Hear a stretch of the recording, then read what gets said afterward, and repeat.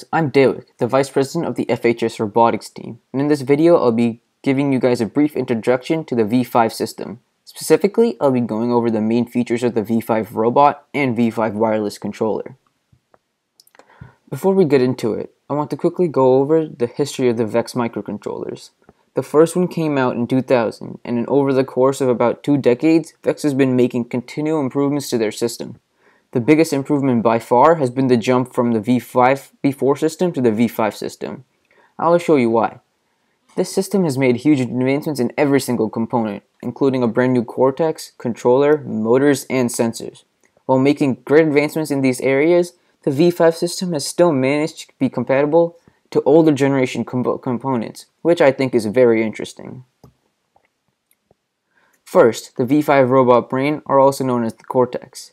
This new Cortex is a very nice 4.25 inch color display, which is a huge improvement for the three blinking LED lights that the V4 system had. It opens up Teams to greater capabilities because the screen has so many functions. I won't go into every single detail, but one example is that you can see real-time diagnostics of all the components connected to the Cortex. Here, you can see that the screen is giving info about a certain motor's speed, degree, torque, and even temperature, which is really cool. This Cortex also has 21 smart ports, which means you'll be able to connect the new V5 smart motors and V5 smart sensors. I'll be going over those smart components in a second video. That'll be linked in the description. In addition to the smart ports, it also has 8 3-wire ports that allows you to connect the older generation sensors and motors that were used in the V4 and V3 microcontrollers. Another main benefit of the V5 Cortex and you can download up to 8 programs, unlike the old V4 system that could only hold one. That's going to make it very easy to switch between programs, which makes it even more efficient.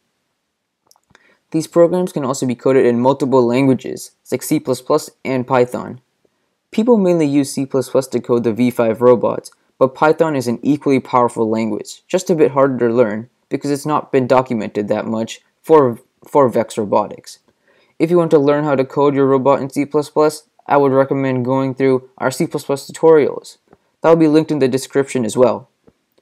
The new Cortex has successfully made robotics much easier for everyone by eliminating any nuances you might find while building the robot and while coding. It also it has also added even more function, functionality to the robots that you will make. Now, let's move on to the main features of the V5 wireless controller. Similar to the robot brain, the biggest advancement made to this component was the addition of a screen. Again, the screen makes programming and testing robots very easy. How does it do that?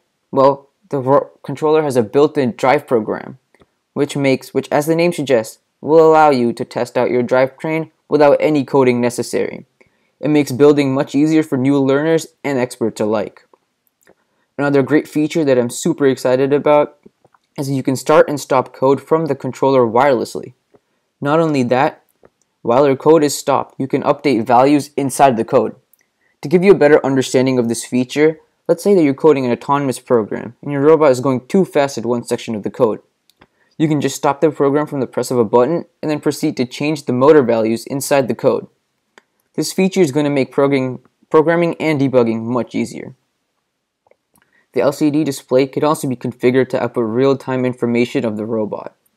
These widgets, as VEX calls it, are going to act like gauges in a car, giving the driver precise diagnostics on the robot's speed, RPM, and torque. One interesting feature that, the VEX, that VEX added is a haptic rumble motor into the controller. What, what this motor does is that it vibrates the controller, and it can be programmed to be activated anytime during the code. I can see this being used to inform drivers during competitions seamlessly. For instance, you can code the controller to vibrate a set amount of times during a match, so the driver knows how much time is left.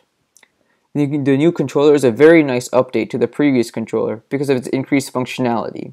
Along with letting driver con drivers control the robot, it's also an asset that will make programming and debugging the robot much more efficient.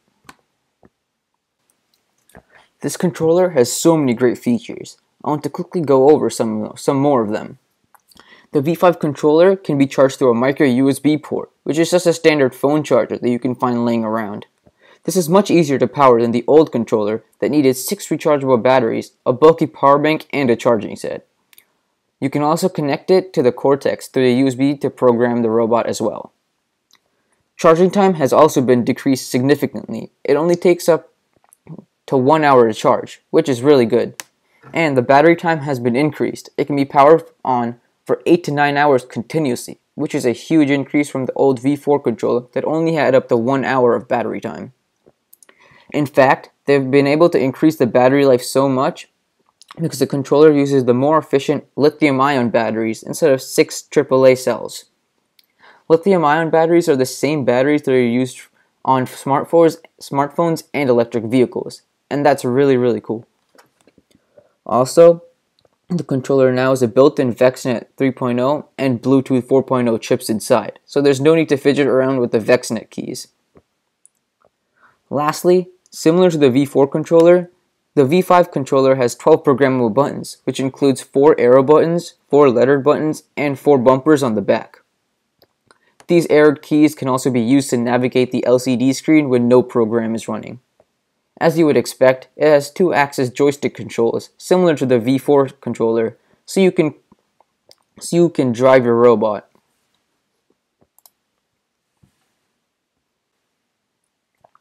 Ultimately, the new V5 system makes robotics very efficient and e easy for everyone. This is because of the, all the cool new features. Additionally, if you want to learn about the new motors and sensors that come along with the V5 system, please watch the second part of this video. Thank you for watching and hope to see you in the next one.